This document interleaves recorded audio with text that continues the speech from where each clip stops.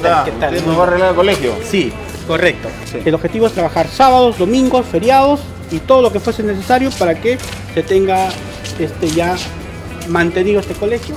Y ya tenemos el personal acá en el segundo piso, ya haciendo ¿Qué los trabajos haciendo? de lijado Para la pintura. para la pintura y el- los técnicos electricistas están revisando todo lo que es las luminarias, tomacorrientes, interruptores, tableros y también la parte de los jardines, ¿no? En esta institución específicamente se va a reparar las losas, todos los pisos que ven dañados, se va a reparar las- los ambientes que han sido deteriorados de sus bases por el tema de la humedad, se va a reparar el tema de pintura y cielos rasos, se va a poner operativo todo el sistema eléctrico, vale decir tomacorrientes, luminarias y todo el sistema de saneamiento que son principalmente en colegios los baños.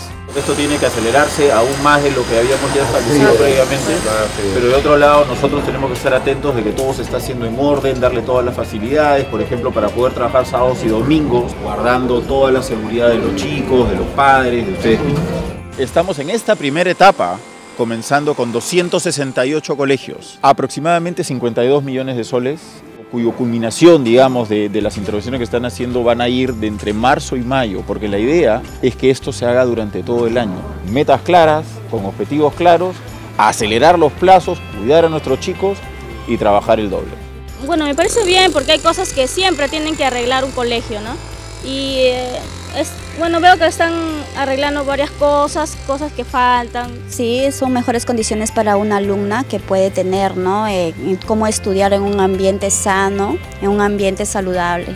Para mí es fabuloso porque mi hija va a tener una excelente educación, pero también es o sea, no solo de los, de, o sea, del colegio, sino también de los padres. Apoyo a los padres más en, en la institución también para los niños.